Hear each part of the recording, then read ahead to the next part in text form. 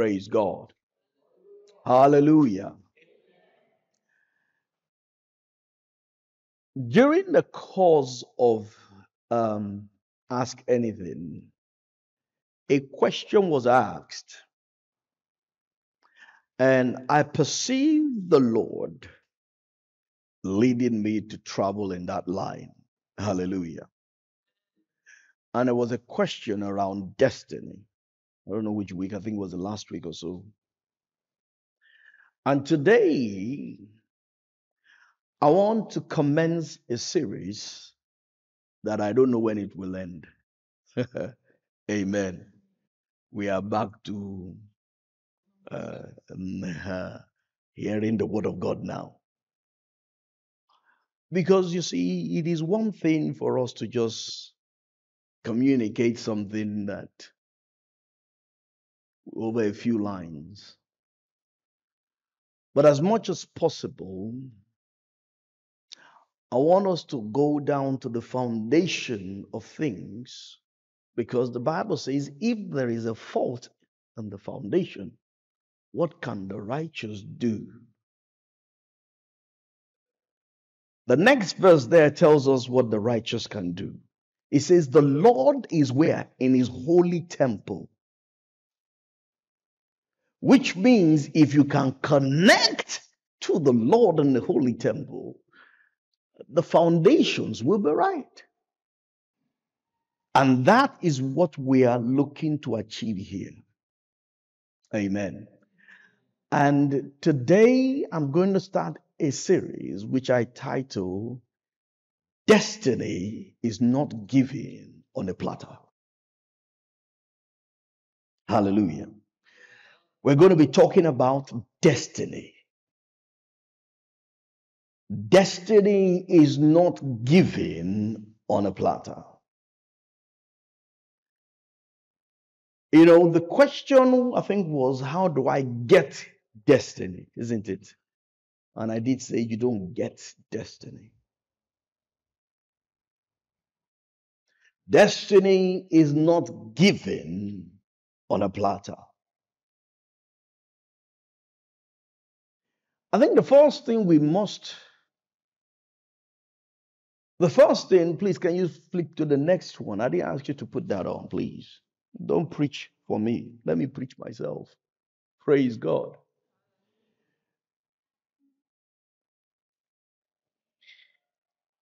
What is destiny? What is destiny? In fact, before then, give me Jeremiah chapter 29, verse 11. Jeremiah chapter 29, verse 11.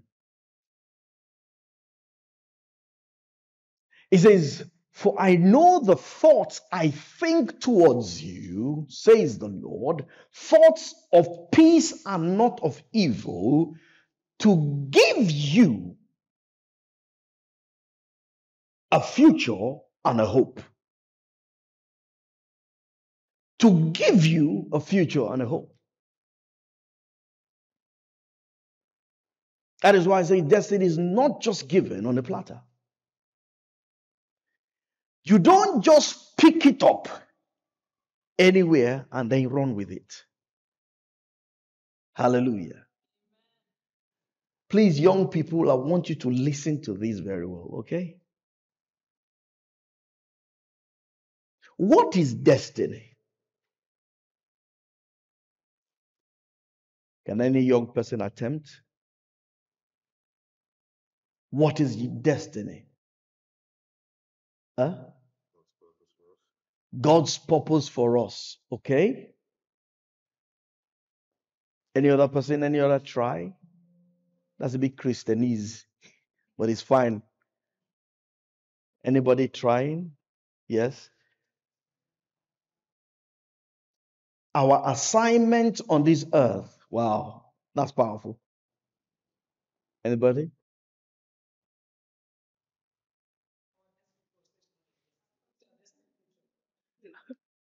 Your destined future is your destiny. Okay, amen. Huh?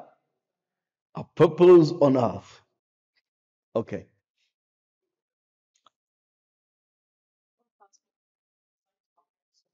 What has been designed to happen to somebody. Okay.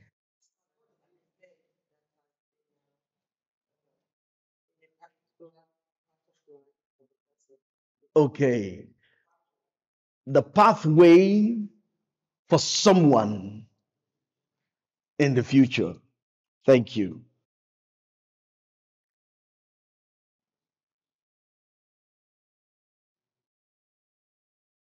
When you look at the word, you will find out that people kind of play around with these because people look at sometimes you see that you notice that people say uh, or, or rather some of the definitions we gave as long much as they are great in themselves some of them are just referring to predestination not destiny. Amen Destiny is simply the end destination. The end destination. Amen. It is the outcome of a predetermination or a predestination. Amen. It is the outcome of a predetermination or a predestination. It therefore means that everyone who is born on the face of this earth has what? A destiny. Hello? Everyone born on the face of this earth you have a destiny.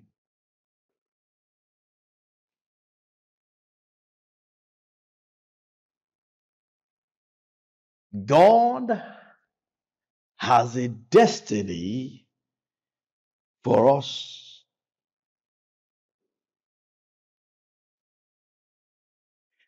That destiny God has is the end goal.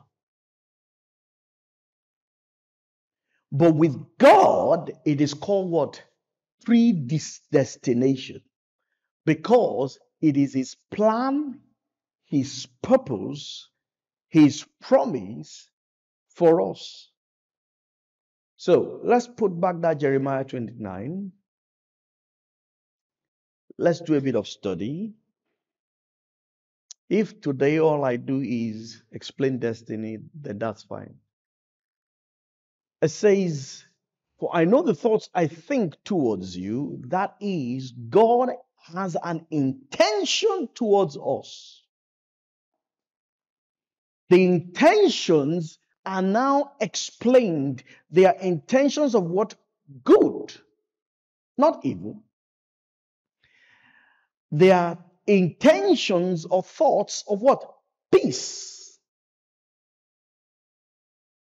Now it says to give you a hope. So the predetermination of God are his what? Thoughts for us.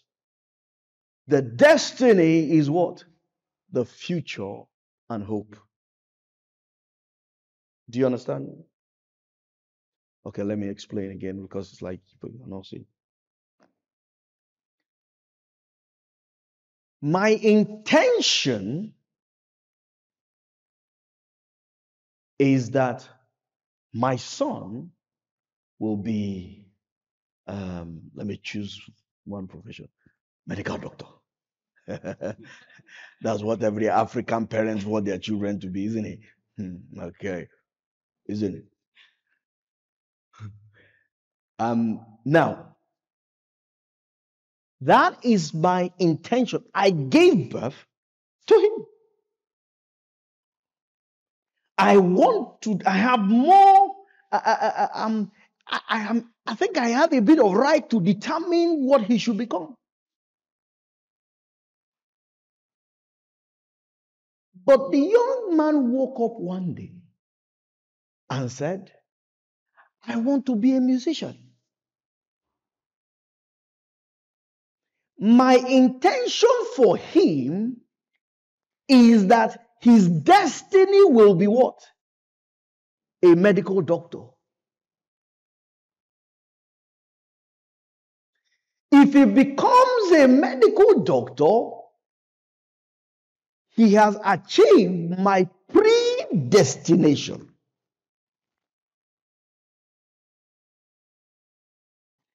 I have given him the hope and the future. Do you understand? He was not born when I started thinking about him being a medical doctor. When he now came, I wanted to actualize my predestination for him such that my predestination becomes his own what? Destiny. Do you understand? Only creators can predetermine a destiny.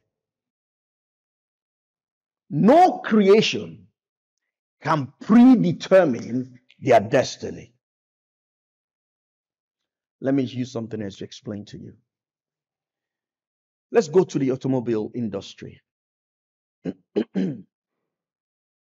Give me, tell me your best car, car, your dream car. If you ever have, in fact, as in, amen, this one. Just give me one. Audi. This guy is cheap. You are too cheap. Rolls Royce, thank you. Ah, we're talking about cars here. You are telling me Audi. Where, where is We need to teach this man something. Rolls Royce. Can somebody else give me one again that they won? Huh? Porsche, Lamborghini. Okay. Huh? Ferrari. Okay, good. We have Rolls Royce, Ferrari, and and Porsche. All right? Rolls Royce, Ferrari, and Porsche. These cars are very good cars. But for you to know the purpose of a car, you have to find out what the intention of this man of the of the of the manufacturer is. Let's take rolls royce. Let's take ferrari for example. Two very good cars. Two very expensive cars they go for over a hundred thousand pounds if not more but now the question is you must understand their predestination Otherwise, their destiny might not just be great. What is Rolls Royce built for?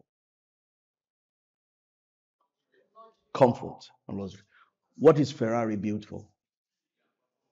Speed and performance. Now, if you are in a Ferrari and you step on it, and you're in a Rolls Royce and you step on it, same thing, same speed, which one do you think will go faster?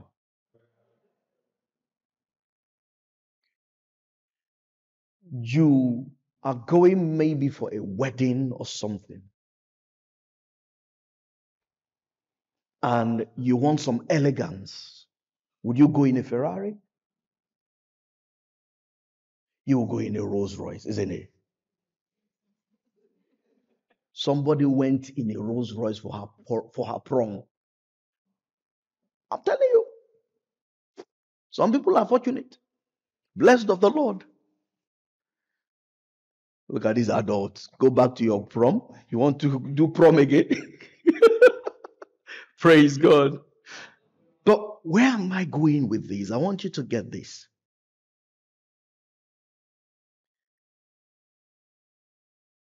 Let's take Porsche, for example, and take, um, what's it called? Uh, Ferrari. Both. Ferrari is built for the racetrack. Porsche is just an elegant car for corporate businessmen. That's the intention. But what is it? You're shaking your head. Tell me. You're the one who is into car. Tell me what Ferrari is built for. Huh? It's a race car. Is it? F1 people. I've never had Porsche on a race, well, on F1. It's also a race car. But which one goes faster? Ferrari will go faster. Well, the point I'm making is, is get my gist. I'm not into cars, but I'm trying to just explain to you with what I'm limited to. If you give me scripture now, I can explain that one to you. Now, now, now, the point I'm making is this. If you take a a Rolls Royce or a like a limousine or something and take a Ferrari and put both on a racetrack, you know that one does not fit. You will ask yourself, what is this one doing here? Because the predestination does not align with the destiny. It was last week scrolling through the news and I saw an interesting news of how a policeman arrested a man who took his sedan car, cut it in half so that he can carry his bull. He kind of cut it in half so that he can have a seat. He made a seat for his cow. Are you getting what I'm saying? Is a sedan car designed to carry cows? But he did. So the destiny of that car does not align with what the manufacturer had intended that car to be.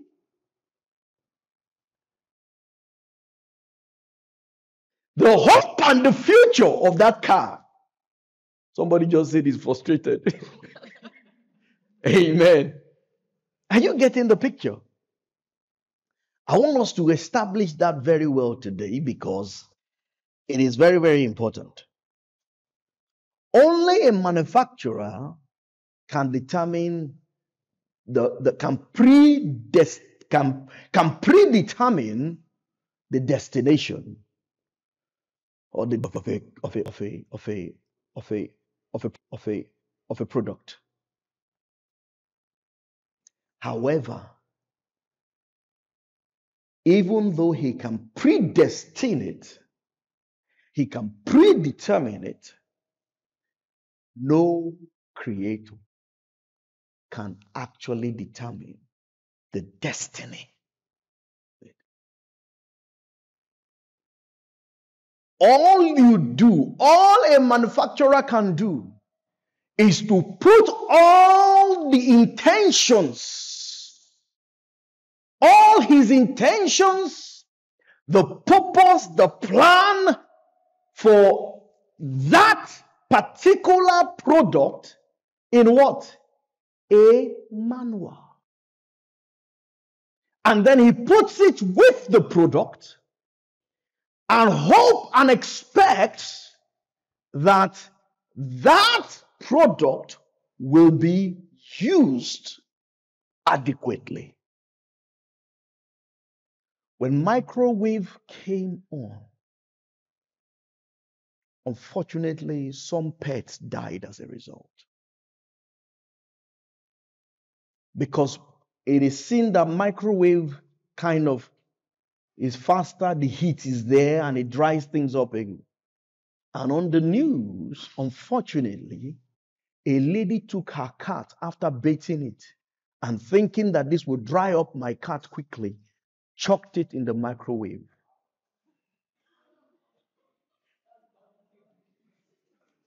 Are you getting where I'm going to? Is it the intention of the manufacturer of the microwave to use it as a dryer?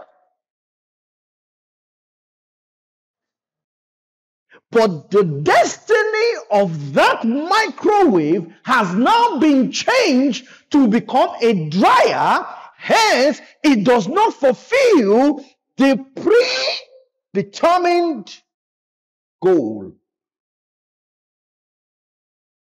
Do you understand? Huh? Therefore, the fact that God has predetermined everyone, give me Romans chapter 8.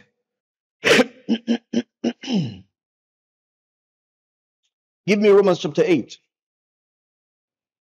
Let's see verse 28 of it.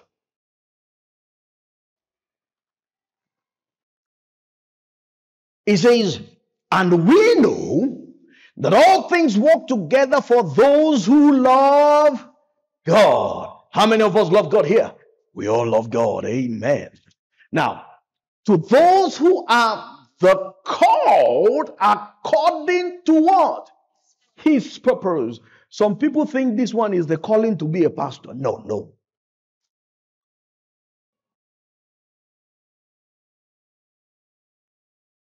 There is a purpose for which God called you. There's a purpose for which God manufactured you. There's a purpose for which God raised you.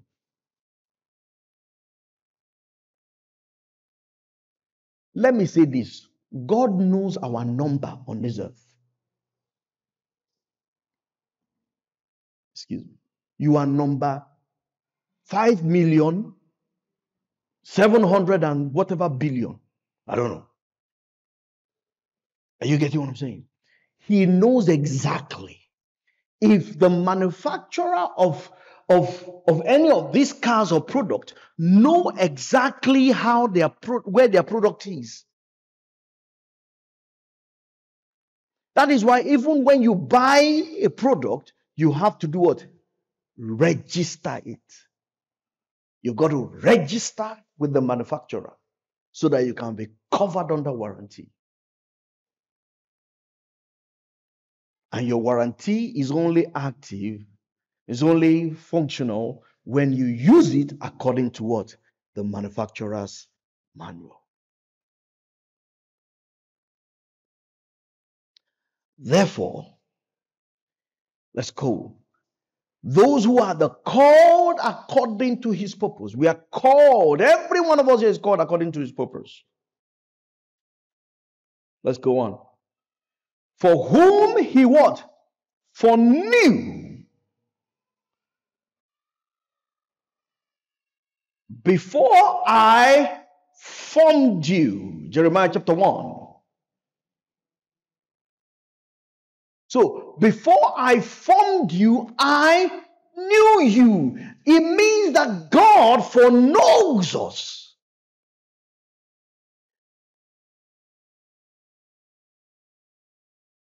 In the mind of a manufacturer, the product exists. Way before it comes into physical. He says he, pre, he for though for whom he foreknew, he also what? Predestined to be what? Conformed to the image of his son. So he predestined them for what destiny? Conforming to what? The image of his son. And then he gave a reason. Why is that destiny defined? So that he might be the firstborn amongst many brethren. So God is looking for many Jesus Christ. God is looking to raise many Jesus Christ amongst us. Hallelujah. Go on. Verse 30. Moreover, whom he predestined, these he also called. And whom he called, he also what? Justified, and whom he justified, these he also glorified. Now, it is one thing for God to call, pre- predestine us, it's another thing for God to call us. It's another thing for us to be justified. Now, between the calling and the justification, that is where the gap lies. Those he called, he justified. But when you look at it practically from the scripture, God did not justify everybody. So we need to find that gap.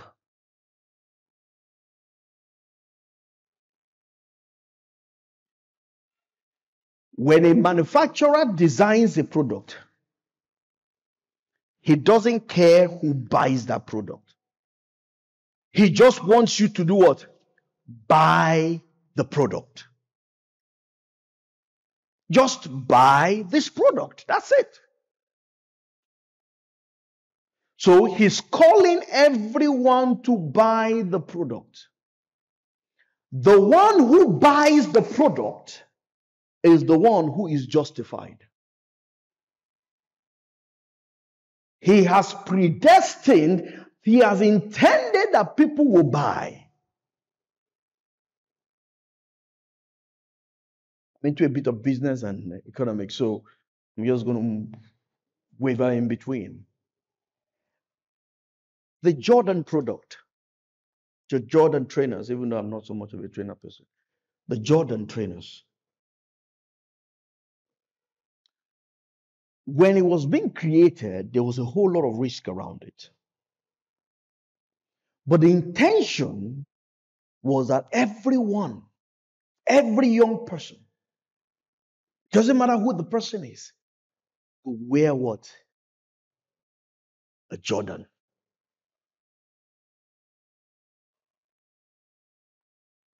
So, for as many that are called, if you want to identify, now there's a Jordan culture, you know that? There's a, a culture. There's a there's so, there's this identity that you get with the Jordan, isn't it? It's a trainers. Don't worry. I know me and you were in the same level. Ask your daughter, she understands what I'm talking about. Praise God. But what are we saying here? You cannot be in that culture. You cannot be justified amongst those people if you do not first receive the call of Jordan to put on their shoes.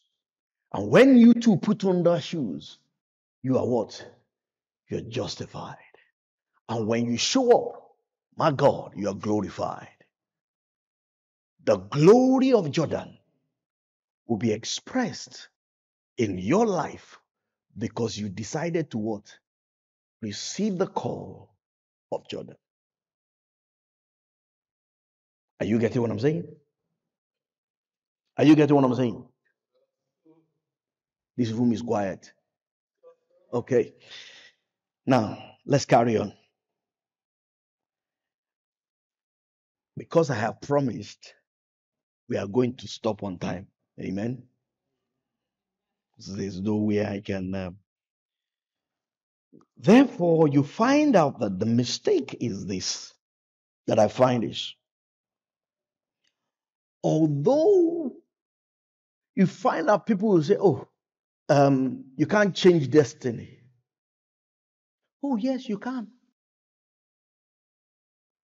From everything I've explained to you, you can see that it is clear that you can change destiny. You can change destiny.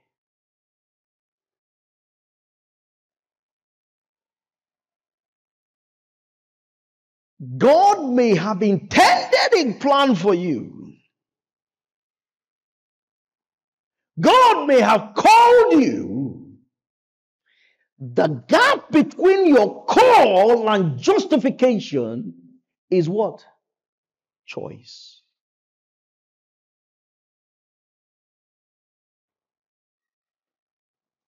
Choice. I gave you an example of my of, of, of, of my son. Oh, I wish my son will study medicine. And then he grew up and decided going into music. My predestination no longer aligned with his destiny. Are you getting what I'm saying? The same way in God, many of us are called.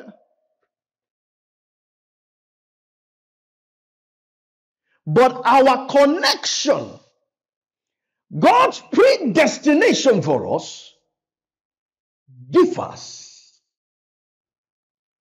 from our destination where we're heading to. And the difference is what? Choice. Give me Deuteronomy chapter 30. Let's see from verse 15 quickly. From verse 15, quickly. Quick, quick, quick. See, I have set before you today life, life, life and good, death and evil. Look at that. I have set before you two destinations. I have set before you two destiny, two end goals. Life and good, death and evil. Go ahead. In that I command you today to love the Lord your God, to walk in his ways and keep his commandments, his statutes, his judgments, that you may live and multiply, and the Lord your God will bless you in the land which you go to possess. Go on.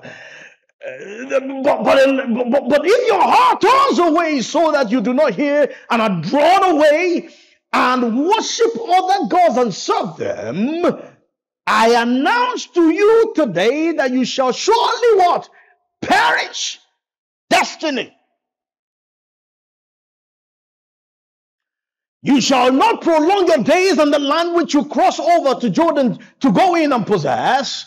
Uh, I call heaven and earth to witness today against you that I have set before you what? Life and death, blessing and cursing. Therefore, the power is in your hands. I was a teenager when God started teaching me this. I remember a preacher came to our church one day and was preaching. And afterwards, he started exclaiming and declaring words. And then at the point, he stopped and said, Do you know your destiny lies in the hands of God? And everybody screamed, Yes. And I shouted, No. My friends turned, I myself did not know that I was going to shout, but just rose up in my spirit. I shouted, No. And my friends turned to me and said, What's wrong with you? I said, No, my destiny does not lie in the hands of God. My destiny lies in my hand. I choose who I give it to. I choose to decide if my destiny will align with God's predestination for me or not. It is my choice. It is your choice. God has predetermined you it is your choice. Hallelujah. Therefore, choose life that both you and your descendants may what? May live.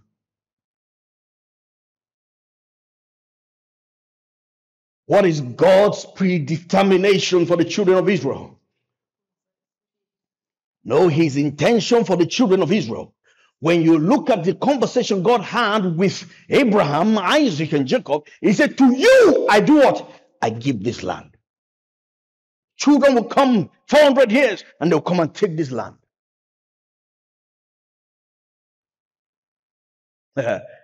he promised them. That promise was there. I will give you this land. And for 400 years, as if destiny was lost. And here comes the children of Israel, mightily delivered by God, set free, and they're on their way to where? The pre-intended what? Destination. The Bible says about six million people left.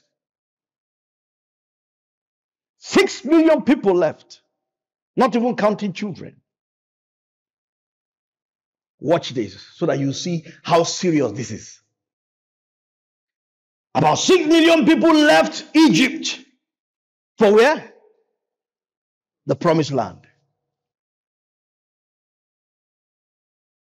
Of all the 6 million,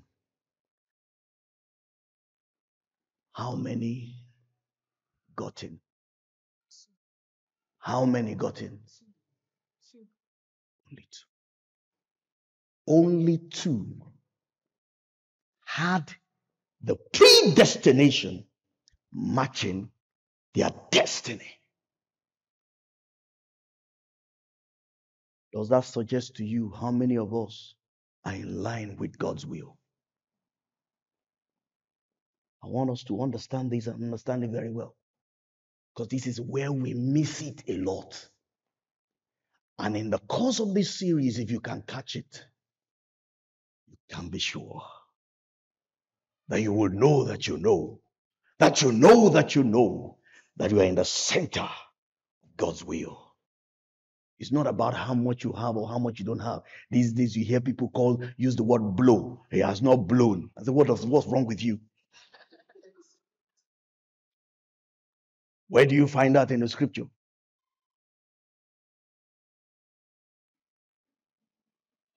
I've taught you what it means to be rich in this house. You gotta be stinkingly rich, man. I am stinkingly rich. I smell riches. I know you people think I'm pompous. I'm not. People, uh, there's a difference between being rich and being wealthy. Don't call wealthy people rich people.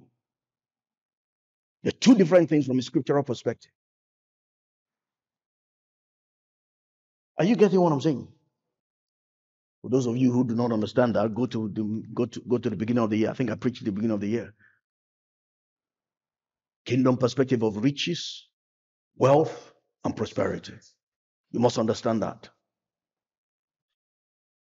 The fact that you have money does not mean you're prospering.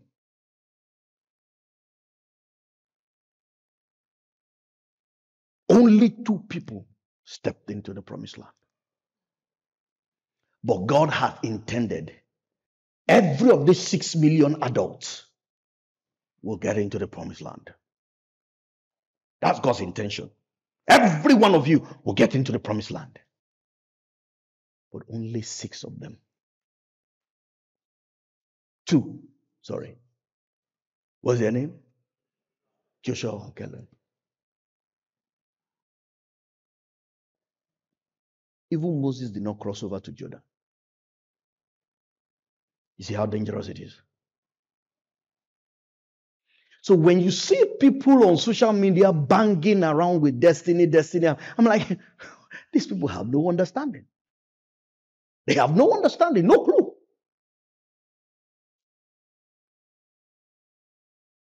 You must be able to say, I am in the destiny, I am in the will and the purpose of God for my life.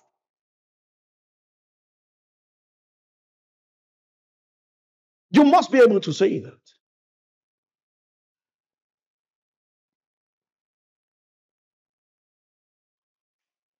Because, friends, God's intention is God's intention. Amen? Let me ask you a question. Have we got many Ferrari shops in this country? Huh? Oh, come on, man. Don't answer questions anymore. Go and relearn cars. If it's Audi you want, you stay with Audi. Amen. Have you? Are there many Ferrari shops in this country? There are. There are, my dear. There are so many of them. Now, some of us not, do not even know that there are many Ferrari shops in this country. Because, why? Although Ferrari wants you to come and buy, but only few will be able to purchase it. Are you getting what I'm saying? Many are called. Whew, may we be among the few. In the name of Jesus. Are you getting what I'm saying?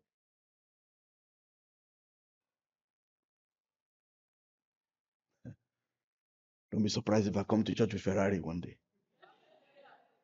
Ah, you think I'm, I'm, think I'm joking? All right, watch me. I was telling my wife one day, I said, the only reason why I have not started coming with Bentley. Is that many eyes will be raised. I don't eat your money. You don't pay me in this church. I don't take a dime from you. So it is my money and I can use it to do whatever I want. Now that's where this that's where stupidity comes. Can use my money to do whatever I want. No. That's where we miss destiny. Because our destiny must align with the predestination of God. Are you getting what I'm saying? Eh? Uh-huh. It's not what you drive, it's what drives you that matters more. Hallelujah. In closing, I think I'll just close here. In closing, where you have not established, or rather, where you do not receive that destiny, it doesn't mean another person will not receive it. Huh? So please do not say nobody can change my destiny. It can be changed.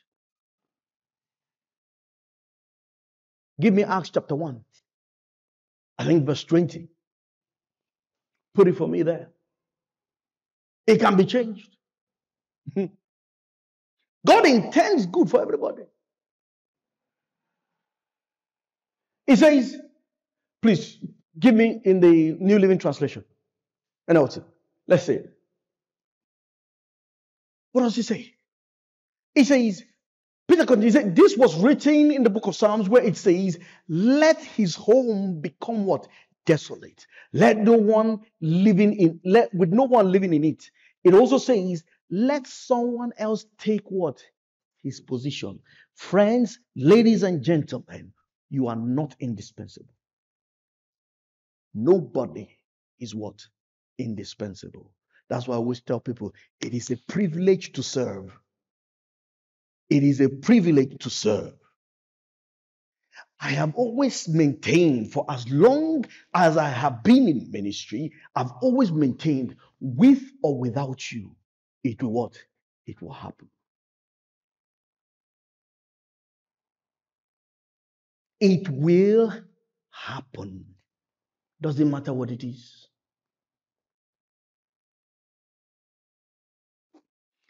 Let me give you a sad story for you to understand. I started ministry in 1999 when the Lord asked me to start up something then. And uh, about that time, I started praying to the Lord because the only person that knows your call is you. You get what I'm saying? And then sometimes you look foolish before people. And I started saying, Lord, I need someone to help me here. And one day, a guy walked up to me and said, The Lord is leading him to come and help me. I said, Are you sure? He said, Yes. I said, I don't have money to give you. He said, No, it's not about the money. I said, I don't pay people. And I said, I'm not so much of a nice guy. Those of you you know now. Amen. And I said, No, that he knows that the Lord has asked me to. I said, Okay, that's fine. Let's go. And we hit it off. Oh my God, we took that place by storm. And God used us mightily during those times. But it came to a time when he started allowing certain negative influences. I will touch on this next week. And what happened to him simply his heart was turned against me. Tried as much as I could to rescue that relationship, but he was already gone. And uh, one day I was stepping out of his room We were students then, university students. And while I just stepped out, I overheard him make a comment. He said, That is how they will all be going around uh, when there's exam. If, if, if, if, if one fails now, they will say, um, His ministry and all that kind of stuff. And I heard that. And I looked to the Lord and I said, Lord, you heard him. Vindicate me. And I left. Carried on with ministry work. I passed and I graduated. He had an extra year.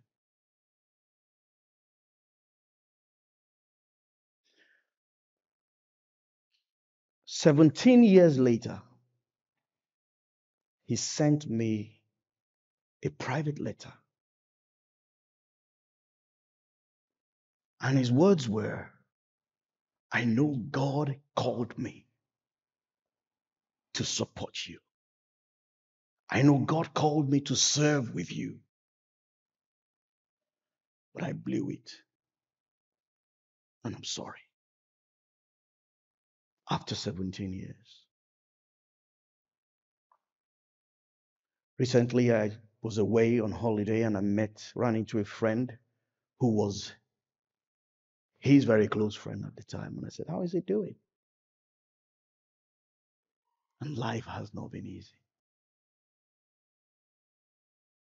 For the greater part of his life after school, no job, nothing. Life has been frustrating. And I said to myself, one decision. Because all I can point it to, and for him too, having sent that email, all that he can point it to is the one singular decision that he made. Amen. My question is Has he been replaced? Has he been replaced? Do we have people still serving in church? Has my ministry died?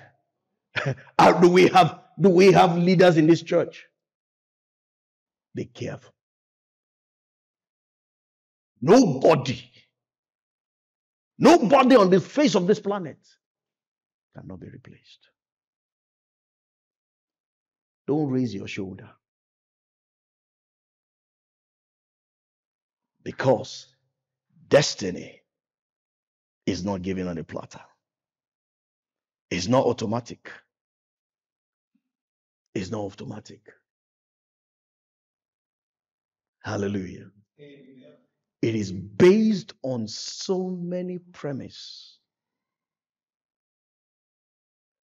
And those premises we're going to be exploring. This is just introduction. Amen all those premises we're going to be exploring from next week. Have you received something today? Yes, sir. Let's bow our heads.